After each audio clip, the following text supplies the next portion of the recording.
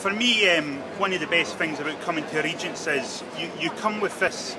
this idea about what you think you're going to be and what you think God's wanting out of you and what He's going to do with you, and you come, and all that stuff just gets put on hold, and He starts working with you, He starts shaping you, and He starts putting ideas in your head that you know you never thought you could do before. For most people, I think they leave Regents with totally new ideas and an intention to do something that they'd never thought about before. God just brings you here, and whatever expectations you have, He just turns them around and gives you a much higher goal.